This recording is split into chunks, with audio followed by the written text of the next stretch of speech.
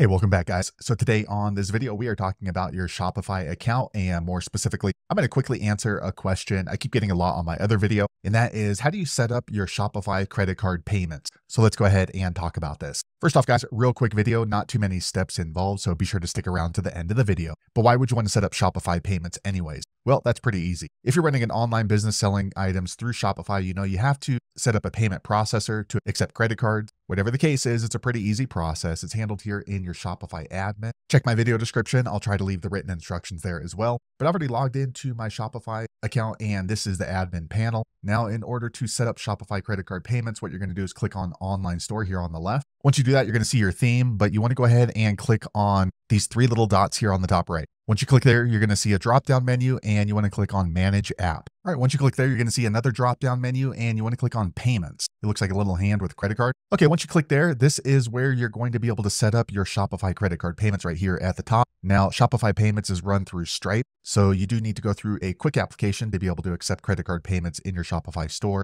Also, Stripe is not available in all countries. So if it's not available in your country, you're going to want to go ahead and scroll down a little bit and set up PayPal, or you can click right here and see all other providers. Okay, so here are the other providers that are available. So you're to have to search through and see which one applies to your specific country. Also, you can go ahead and search by the cards accepted. So for example, if you want to accept Discover, you can click right here and filter all of the providers by who accepts Discover. But for the purpose of this video, I'm going to go ahead and sign up for Stripe to accept credit card payments. So what you're going to do is click right here, complete account setup. Here they give you a little bit of information on what you're going to need to do in order to accept credit card payments in your Shopify store. So I'm going to click on submit details. Okay, next you have to choose your account type. So individual, registered business, or a nonprofit and click on next. Okay, here Shopify asks for your representative first name, last name, date of birth, social security number or tax ID number, email address, phone number, and then the residential address. So I'm going to go ahead and enter this information in off screen. Okay, next you want to go ahead and choose your category and then a subcategory of what type of industry you're in. Here you can go ahead and add a description of the products that you're going to be selling. Also, you want to go ahead and enter in the store phone number. This is different than your personal phone number. And then also if you're doing business ad. Once you're completed that, go ahead and click on next. Okay, next you want to go ahead and review the information you input and then click on confirm at the bottom. All right, next Shopify Payments wants you to review the terms right here. If you're okay with that, go ahead and click on agree.